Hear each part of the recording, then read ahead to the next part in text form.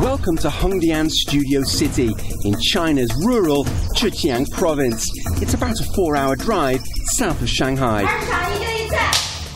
Hengdian is the brainchild of business tycoon Xu Wenrong. He started this massive site with just one set.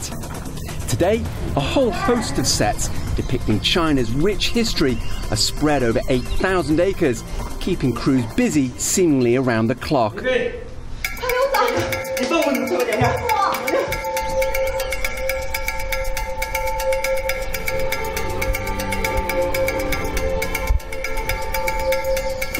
Since Hengdian opened in 1996, more than 2,000 movies have been filmed here.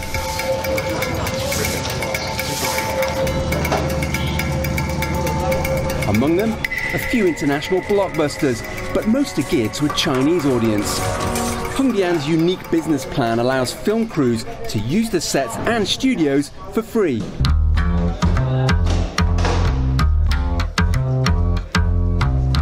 China has enjoyed a meteoric rise in its film industry and at the box office. The country's citizens love movies and China's rich history. But Hengdian is not just a destination for filmmakers and movie stars.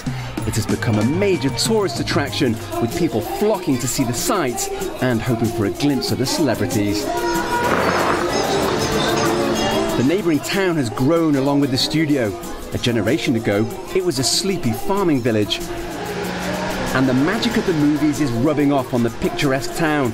Expansion and more attractions are on the way promising lots of action both on and off the set.